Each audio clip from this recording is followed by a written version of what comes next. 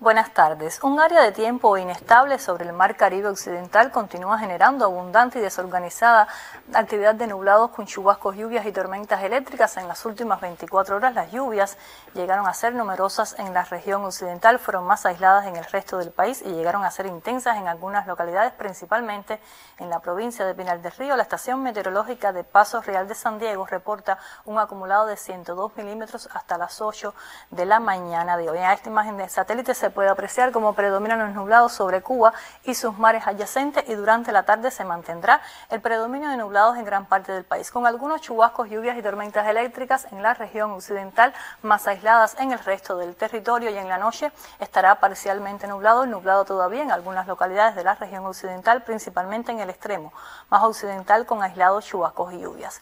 Las temperaturas máximas en la tarde con valores entre 31 y 34 grados Celsius, 35 grados en la provincia de Y en la noche valores entre 24 y 27 grados Celsius. Los vientos variables débiles en la región oriental, en el resto del país serán del este con velocidades entre 10 y 25 kilómetros por hora y habrá poco oleaje en todas las costas. En resumen, para hoy otro día cálido con algunos chubascos y tormentas eléctricas en la región occidental. Esto es todo en cuanto a la información meteorológica. Tengan todo feliz tarde y hasta mañana.